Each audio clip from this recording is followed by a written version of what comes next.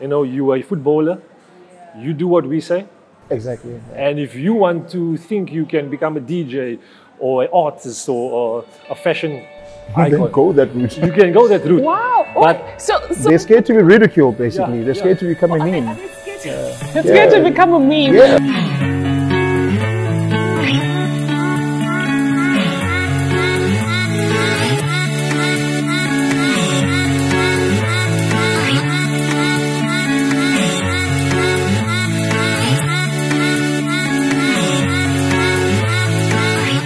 Here with Nathan Paulse and Khris Njokwana. How you guys doing? I'm very, very good. Good, good, thanks. Yeah. Now, Nathan is uh, an Ajax player, former Ajax player. You recently retired, didn't you? Yes, I, I, I was retired in 2017 and then football called me back. Uh, and then I, I came back to the game as a footballer last year and then I, de- I decided now, in actual fact, three days ago, I think, yeah, I decided it's, it's yeah, it is official. Okay, now Khris, we know you for freestyle soccer, right? But not only that, you now hold a Guinness World Record. Can you break that down? Um, it's actually been a year now. Uh, I've held it. Um, basically, it's the highest altitude ball drop and control um, by a footballer, a human. Um, so they dropped from a crane of 37.4 meters.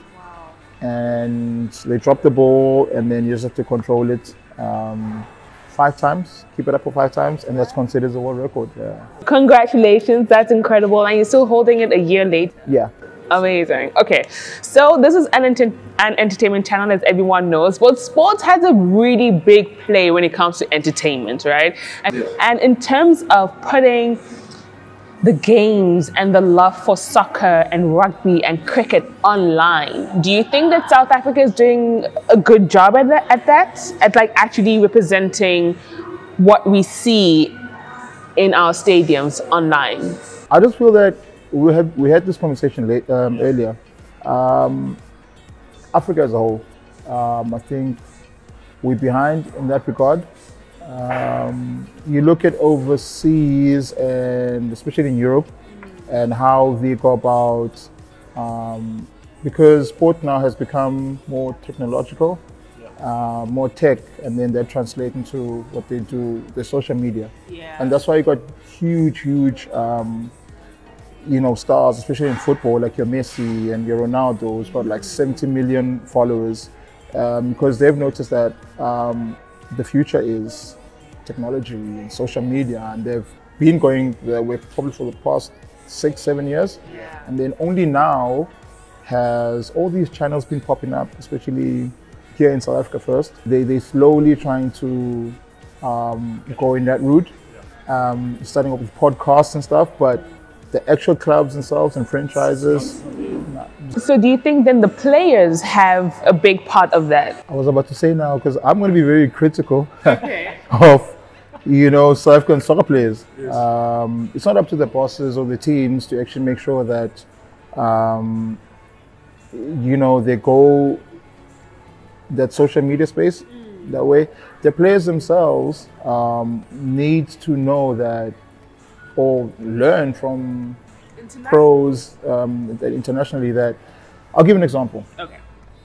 A I follow a Keegan Buchanan, um, pro footballer, and also what he does very interestingly on the side is he posts a lot about what he enjoys, being fashion, being music, but he also posts um, when he goes to gym a lot.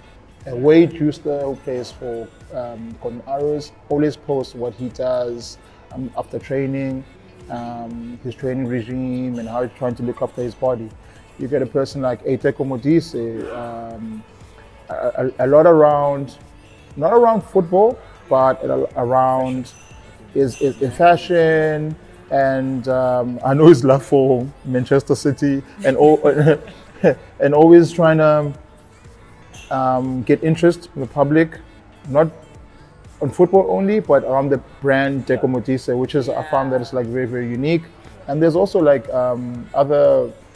we- Then we go overseas. Your players like your your Lingard, um, not more about football, but dancing moves or whatever, and people are gonna resonate with that. They're gonna be drawn with that. You know what I mean? I feel like, yeah, I feel like in South Africa, the rugby players are maybe making a little bit more moves in terms of establishing like this online strength. Because, for example, Siya Kolisi, for example, he has a documentary on Showmax yeah. as Bryan Habana. And so to see that, okay, cool, the rugby guys were actually coming through with that, that was great to see. And I think maybe even having some of the sports guys show their love for fashion and for music and for international soccer players is really great. I think the, the South, South African soccer guys, they're very. Um, they're, scared? They're scared and, and, and, and Why? very wary because I think it's more to do with the with the culture built in the in the actual game in the actual industry.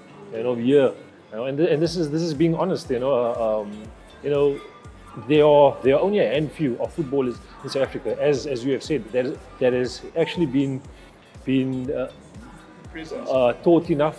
Per, perhaps you're going to put it like that, or you know, feel feel um, uh, confident enough in who they are yeah. as a as a person, not even a footballer, as they they they feel sure of who they are and they know. Look here, even though um, I am a footballer, I also have a love for music and for cars and for this and that. Yeah. Now the now the industry hasn't been uh, built to empower you to or feel like that. Mm. And and it's uh, sad because it's been it's been built to actually just you know you are a footballer, yeah. you do what we say, and if you want to think you can become a DJ or an artist or, or a fashion icon, then go that route. you can go that route. Oh, oh, but so, so they're scared to be ridiculed, basically. Yeah, they're scared yeah. to become a meme. Are they, scared to, yeah. scared to become a meme? Yeah. Are they scared though?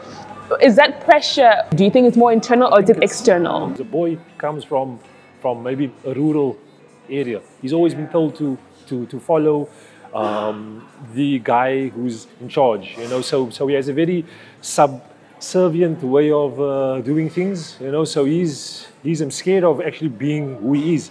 In actual fact, he doesn't know who he is. So as he comes into this football um, industry, where he's told to do this, do that, do this, maybe he finds himself through that pathway where he has a love, as I said, for, for different things, other than, than just the playing, you know. But because he's been told so many times you do as I say.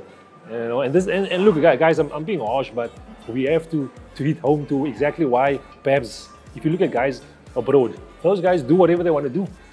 You know, any, irrespective of whether their form hasn't been good or if they're not doing well, those guys are still sure of who they are, and they've they've used that to actually improve themselves yeah. as as people and also as a, a footballer.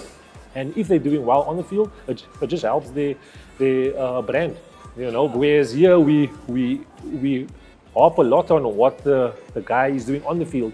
And if he's not doing well enough on the field, he has no uh, right to go and be this or do that or do that. He first needs to do what we say, and this is as, as fans, as maybe family, as the um, industry. I'll give you so many examples. I mean, there are clubs that they they tell the players, yo, monitor what you put out there. Um, example, the Kaizer Chiefs they told um, some players you can't do interviews in a certain um, soccer publication. They are they are uh, um, known to, and, and to Orlando, do that quite. Yeah, and Orlando Pirates be like, yo, after uh, Bibon Chumayelo had posted, I think they'd won a World, um, uh, World Cup, uh, a Nedbank Cup. we wish. yeah, it's gonna happen. It's gonna happen. Yeah. They had won a, a Nedbank Cup, and then he posted um, pictures of the guy holding a trophy, and they were naked like in the showers. And then there was a lot of negative spin-offs from that, and then Paris said like, "Yo, listen, don't, don't, don't do that again." Bafana Bafana beat Seychelles 6-0 here at home. A week later, they were going to play um, Seychelles, Mahé Island um, away leg. I think a day before, two days before, they posted um, pictures of them celebrate, not celebrating, but just relaxing the beach and um, the island. And then we got the nil-nil draw. Had they won 1 0, it was going to be so much different on social media. Yeah. But it was a nil nil draw. Then they go back to the and then, picture. And then they go back to the picture, like you were saying uh, earlier on. Example, a Pogba um, didn't have a very good time with the a, a Mourinho. Um, so he had posted some stuff on, on, on, on Twitter and on Instagram, and people were like, you got these investigators on social media that they were like, okay, this translates into that and that. Yeah. So they so they form their own narrative of exactly what, what happened. And Lingard scores at the Emirates and does a moonwalk, uh, and um, and um, they won the game. Next game, they play terribly and maybe they lose three or four games and then they go back to that picture and be like, oh, okay, you want to be a dancer and you moonwalk, whatever. You know what I mean? So so, could publications and in terms of the media now, in terms of TV shows, and because um, I know, for example, Super Sports has a show called Home Ground. You guys can check it out on Showmax, and it's it seems to want to show both sides in terms of like the game and the sports, but also the lifestyle aspects. Do we need more shows like that? So it's not maybe the responsibility on the players so much, but a player can be interviewed and we see that, oh, he likes fashion and it's not as risky, if I can put it that way, as him venturing on him by himself. Okay, remember the show you were on when you were in Europe? Yeah. Gold Diggers? Yeah. Yeah, so that. I Look, I, mean, I got to be honest with you. It was a it was a show which, which was shot like in 2008, uh, with a with a uh, showed where I, I lived and you know what I what I what I do when I'm when I'm off. It was, it was the first episode, you know, but I what I, what I do know is that I, I need to go find that episode. I had, I had, I had fans, you know, saying like, "Who's this guy? He's he's not even playing in the top league abroad and all." And I was like, "Gee, was people are like really mean, you know." Uh, my my view was, look, at the end of the day, I, I don't care what you have to say. The fact is, I'm playing there. The fact is, I'm doing well. The fact is that, uh, you know, I I have enough balls to like say come into my home. This is what i'm doing. And you know it's it's it's about being uh, real you know and true to who you, who you are. Because there's a a difference in you know um, uh, trying to like be a brand that you that you are not and being who you are. And i think more and more the world um, of sports and football is beginning to understand that if if if you can be true to who you are yeah. and you can actually translate that on and off the field it will it will help you, you know, and yeah. eventually um, fans who, who, who were at first haters, they actually become your biggest fans. Yeah. You know, it's a pity that the show had to end, but it was uh, I think it played for like three, four seasons, and basically what that show was about was going to uh, players' lives like in Europe. So we had to travel around Europe, going to players that are African-based players that are yeah. playing in Europe, and just yeah. see outside of the football field what. So that show essentially just like trying to show the footballers outside of the um, of the field, and um, it's what Lex. I just wish more shows online in 2019 going forward could be like that.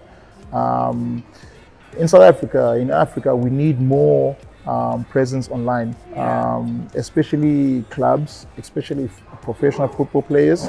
Okay, let me ask you this: Do you think the clubs would be open because, for example, so we had the A1 Sports, right? And the A1 Sports had a, we had challenges because we want to be able to feature players, but we thought we had to approach the players. Meanwhile, we have to approach the club yeah. to first and almost get a, a, an approval in a, in a sense. Yes. So, do you think do you think that the clubs are open to that or they're only open to the super sports and you know the big TV names?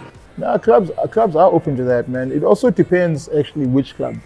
um, it also yeah, it's off and off. Yeah. yeah. So yeah. Because because a lot of the stuff that maybe can be said can be misinterpreted, like by players. Um, I mean, not by players, by fans. Yeah. Um, so you might say a certain thing, and then the club won't be happy with that. So they'll be actually part of your editing process if, if, if they you see, if they you see where the, where, I mean? the, so, where the whole of culture that yeah. is built in the industry comes from because everything stems back to whether or not that person feels comfortable in saying this because he's scared of um, stepping on the, the big man's toes, yeah. which is the, uh, the the owner or the club or the coach or the uh, structures like SAFA, PSL, or whatever, you know. So as long as we watch them still have that and fear, which is like an undertone to everything, you actually won't get enough players coming forward. Or not coming forward, or at least being like who they are. Because, because I mean, how many fans wouldn't love to, to sit down with a Teko and just ask him pure things. Just ask him, look here, when, when you were playing for Sundowns, what happened between you and so and so, or you and whoever, you know, and and, and him actually feeling confident enough to say, here, this is what happened, and not they're not having a, a scripted approach to it, like like you know what. Uh, that is life and that is football because if, if, if you're going to give those those um, uh, cliched you know, kind of kind of phrases, eventually people are going to just move on. Yeah. You know, and that's and that's I think where we, we need to identify maybe as an industry. You know, is be is beginning to get get players feeling a lot more comfortable about who they are, and then also perhaps the advantage of that is you'll get players actually improving on and off the field. Because I mean, I've never played with a player that that does extremely well, but but is scared. It's, it's just it's just yeah.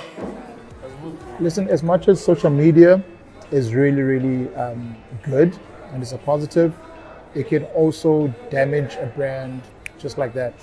So, and, uh, and I, I also understand why club bosses and all these big franchises and institutions are scared um, stuff going out because it can damage the reputation of a club just like that. Um, Sponsors come along with that, and you know what I mean. They also add the whole pressure to sometimes. Yeah. We're gonna wrap things up there. Thank you guys so much for joining me.